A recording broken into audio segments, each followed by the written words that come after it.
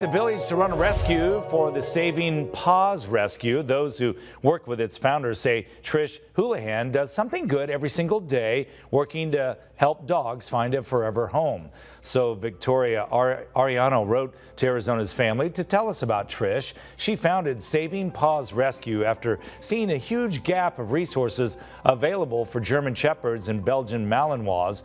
Victoria wrote that Trish is so passionate about the rescue and what we do for the dogs dogs that she's there at the doghouse daily at 4 a.m. feeding the dogs, administering medication, and cleaning kennels. Trish apparently has a big heart, especially for dogs who are most in need, the dogs that are often hard to find a home for, even if that means that the dogs will live out their lives at the doghouse, a place Trish created for the rescues. And of course, this is something really good.